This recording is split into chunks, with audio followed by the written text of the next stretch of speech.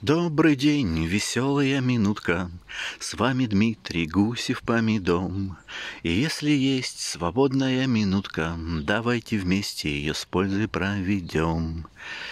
Итак, э, это видео, оно послужит ответу а, послужит ответом. Э, женщина мне фотографии прислала, кукурузу показала. Она у нее такая вот низенькая совсем.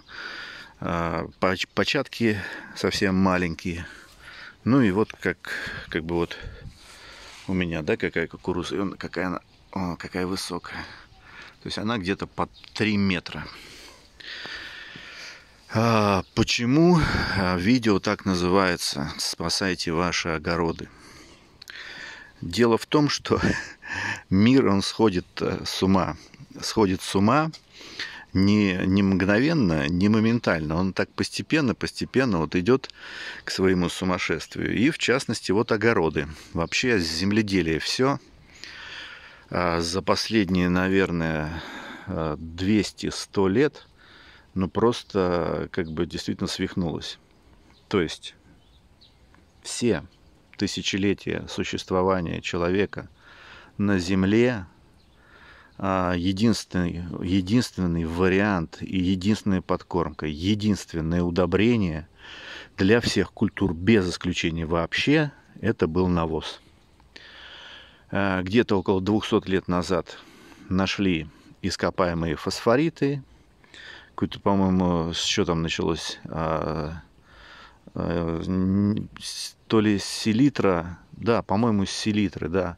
Селитру нашли, начали это а, подкармливать растения, они росли и, в общем-то, под это всю науку подогнали. Но никогда этого не было, только последние 200 лет. И сейчас с развитием сельскохозяйственной науки все опять химия, химия, химия, а, разновидности удобрений, разновидности стимуляторов роста – подкормок сумасшедших во всех микро-макро сочетаниях и какие-то еще там изобретаются. Две тысячи лет, ну так вот по памяти, да, э, использовали навоз и, и, и далее глубже, скорее всего, тоже, да. Я уже об этом говорил в мульчировании по Евангелию. Есть такой ролик, я ссылку внизу дам, э, посмотрите. Так вот, немножко сбивчиво буду говорить, да. А, смотрите, ясно, что человечеству, да, человеком, как, как, как мы вот человеки, а, как все животные, которые здесь живут, ну, даже будем брать просто там теплокровных хотя бы, да, всяких там кошечек, собачек, э, а, коров, лошадей и все остальное мы нуждаемся в растениях. Это вот наша основная пища. Если мы даже едим какую-то пищу, э, ну так скажем, животную, то эта животная пища, она все равно выросла на растениях. Но почему-то мы совершенно забываем, что как мы нуждаемся в растениях, так и растения нуждаются в нас. То есть вот этот вот э, круговорот так скажем, круговорот навоза в природе, ну, действительно, круговорот питательных веществ в природе, а, почему мы исключаем из этой цепи пользу а, наших отходов, которые производит вот животный мир. Ведь именно растения и разлагают его, именно а, на навозе, навоз вот в этой цепи воспроизводства пищи, воспроизводства зелени, всего-всего остального, он стоит на главном основании. И всегда так было.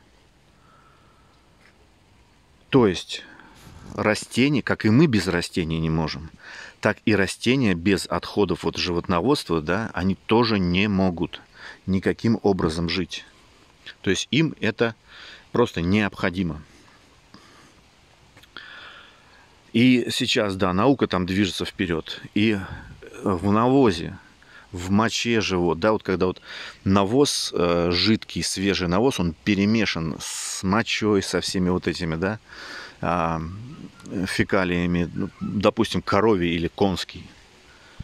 в них находят не только а, там макро, микроэлементы, в них находят и стимуляторы роста, все которые сейчас выделяют химическим способом и уже химией, да, а, какие-то фитоактивные э, вещества, которые тоже растениям необходимы.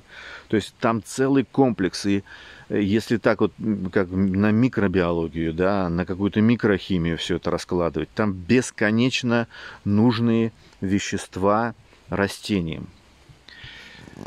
И, так скажем, а, а этот комплекс, вот он в свежем, в чистом, не в перепревшем. Потому что если, смотри, если, если я кукурузу вот эту буду выращивать э, на перегное, только на перегное, на компосте, только на компосте, а у меня такая не вырастет. Чтобы она такая выросла, мне здесь землю целиком нужно заменить на перегной на компост. И в компосте, ну, собственно, компост это такая штука, вот земля берут, э, компост, и если рассада, если что-то еще, там даже на Западе, это же западное слово к нам пришло, компостирование, компост делать. Они в чистом компосте там выращивают, не так, как у нас мы добавляем. Нет, сколько сюда компоста не добавляй, такой кукурузы не вырастет. Ее надо обязательно на чистый компост тогда сажать.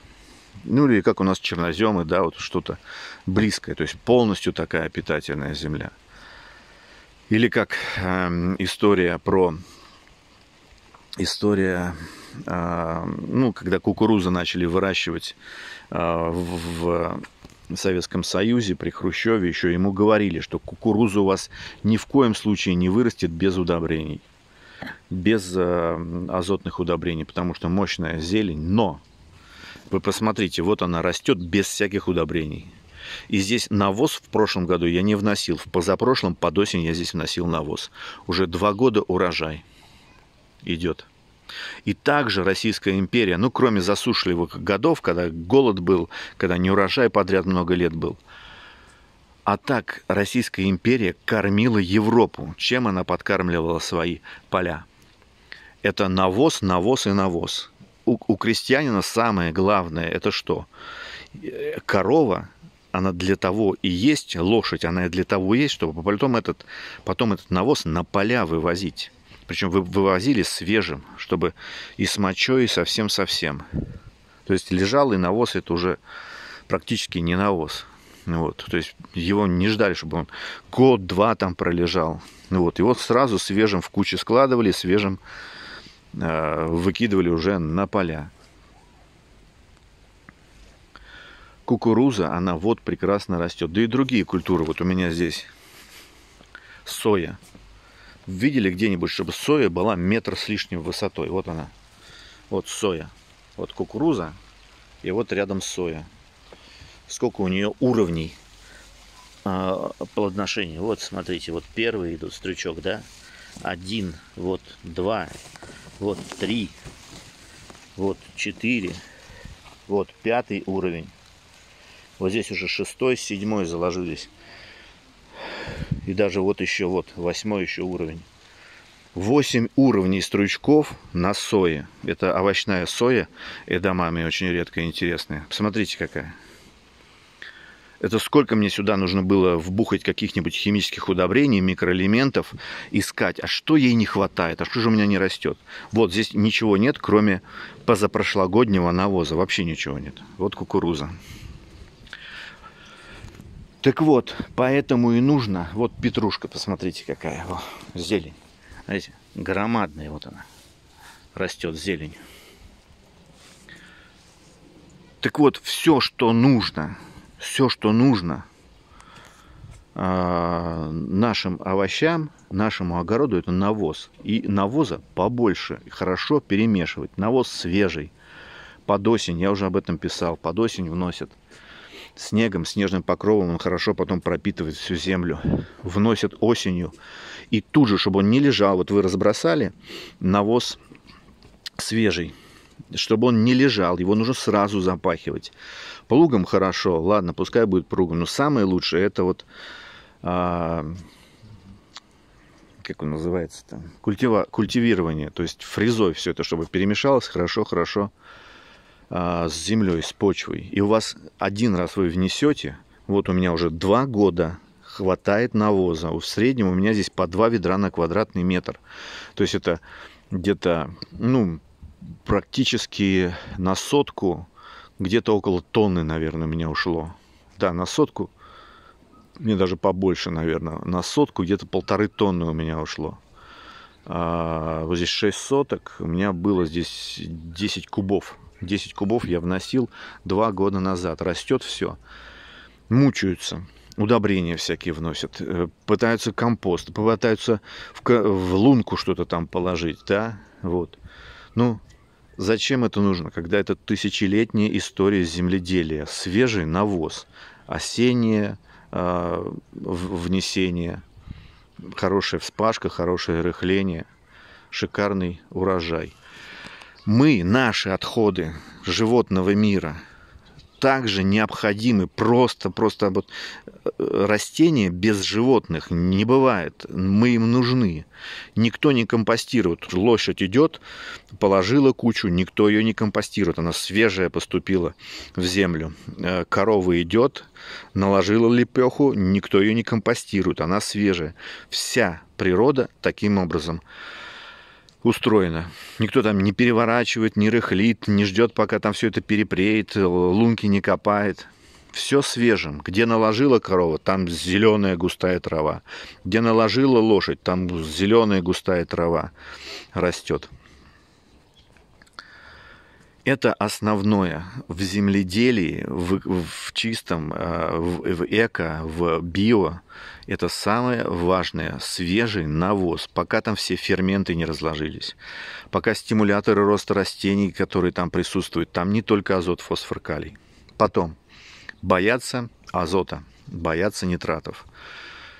А, вот всегда, всю жизнь мы кушали эти нитраты, тысячелетиями навоз вносили, огромные урожаи, э, сытая страна сельскохозяйственная была, да, Россия. Да и весь мир, так что там, причем здесь Россия? Весь мир таким образом жил. И в итоге все сейчас нашли нитраты. Ну, если страх такой присутствует, купите приборов сейчас полно. Померьте нитраты. Нету там никаких нитратов. Когда вот растет это долго, никогда я не поливаю ее, не беру мочевину или селитру и прям под корень не лью сюда. Откуда там нитраты? А, я в деревне родился, я возил зелень, редис в Москву, торговал на многих рынках, а, на Мытищинском рынке торговал, а, в Леонозово торговал, в, на Преображенке торговал. Там везде на этих рынках была при Советском Союзе, я не знаю, потом я уже долго не ездил, не торговал, лаборатория по нитратам. У нас всегда брали редис, мы всегда навоз только использовали, всегда свежий навоз использовали, никаких компостов не было при Советском Союзе в деревне. Мы даже редис, даже зелень, все в норме, никаких нитратов не было. Но если так, сейчас вообще есть маленькие приборы, мерьте нитраты. Вот, если как бы считаете, что это вредно. Но там никаких нитратов от навоза не бывает. Нитраты это от химических удобрений, когда мы их поливаем прямо под корень, на следующий день едем продавать. Ну, к примеру. Вот. Так что прекратите уже мучиться со, всех, со всеми вот этими нормами внесения этих удобрений. Во сколько раз это поиск, какого элемента не хватает. Вот какого элемента не хватает вот этой кукурузе или той сои. Ну, вот чего ей не хватает? У нее все есть. Хотя я сюда ничего не вносил, кроме навоза. А, извините, это немножко эмоциональное все это было, да, но я хочу сказать, что сейчас у нас середина августа месяца, 2021 год. Вот сейчас, если негде вам найти навоза, нет своей какой-то скотины, да, посмотрите, ферм сейчас очень полно, маленьких ферм, а, если на маленьком участке 2-3 коровы, ему точно девать некуда навоз. Он с удовольствием человек его отдаст. Поспрашивайте у родных, у знакомых, а, где-то объявление может быть а, на сайте Авито. Именно сейчас, вот в это время, нужно начать искать хороший качественный навоз на осень чтобы осенью привести его готовый, чтобы он не лежал, приготовить, разбросать и сразу его закопать, взрыхляя лучше культиватором.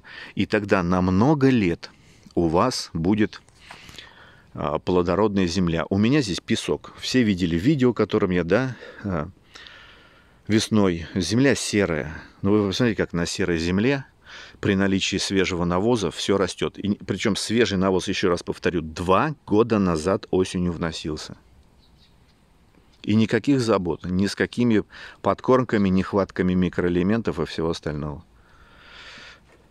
Все, спасибо. Заботьтесь о своих огородах. Ну, а, на сайт заходите, у нас распродажа летняя э, э, продолжается. Семена интересные, вдохновляют они всех. Я сам люблю все свои помидоры, все свои а, сорта других растений. Я их просто обожаю. И вам того желаю. До свидания.